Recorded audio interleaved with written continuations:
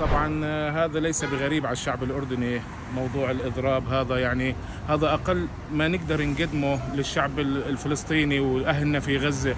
يعني الإضراب مش لازم يوم إحنا إضرابنا دوما بالقلب وإحنا دوما معاكم ومستمرين بدعائنا لكم يوميا إن شاء الله رب العالمين. إحنا عاملين إضراب عشان أهلنا بغزة وأقل إشي أصلا نعمل إضراب لأهلنا بغزة ويوقفوا النار عليهم طبعا أكيد. أنا مع الإضراب نعم.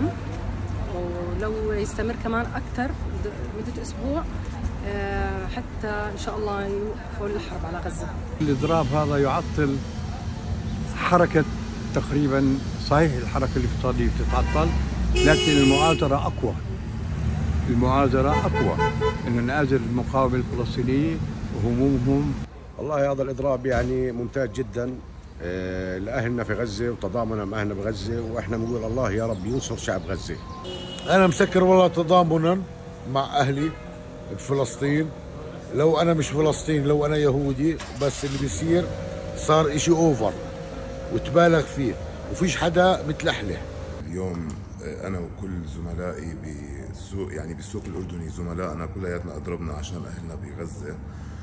آه، بس عشان نبين موقفنا أو يعني لدعم أهالينا آه، ما في أي سبب تاني انه الواحد آه، يعني إنه يضرب أو يعني غير للي بيشوفه. إحنا بنخسر تجارة هون بس غيرنا عم نخسر أهل. نحن اليوم عاملين إضراب شامل عن كل شيء لأجل أهلنا بغزة ولأجل وقف إطلاق النار بجميع أنحاء غزة. وهي أقل شيء أقل شيء بنقدر نقدمه لأهلنا بغزة.